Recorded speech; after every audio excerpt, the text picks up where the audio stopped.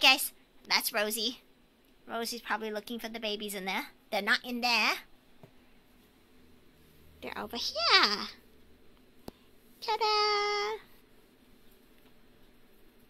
They're much bigger and longer than the, you know, robos because they're naturally a bigger hamster, but I believe Sunday, Monday, Tuesday, Wednesday, Thursday. They are five days old. These guys are day five.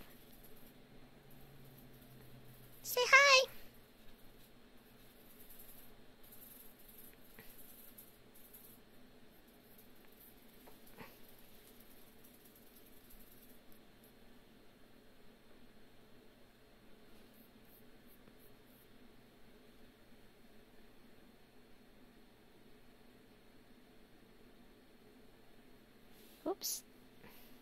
So anyway, these are Rosie's babies. Rosie's first litter.